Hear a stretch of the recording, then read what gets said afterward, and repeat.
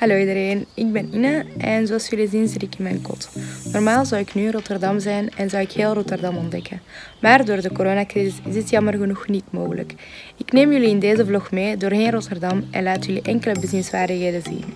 Ik hoop dat jullie ook zo'n fan van Rotterdam worden als ik. Onze eerste stop is de Euromast. De Euromast heeft het grootste uitkijkpunt van Nederland. Eens die helemaal bovenaan staat, krijg je een 360 graden panoramisch uitzicht over de stad Rotterdam.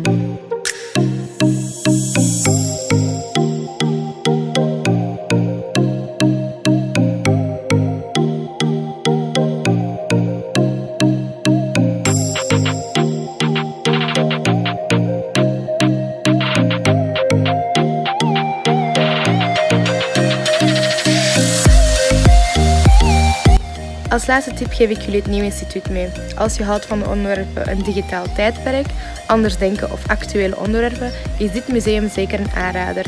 Je kan heel wat tentoonstellingen nu online thuis bekijken door de coronacrisis. Zeker een aanrader.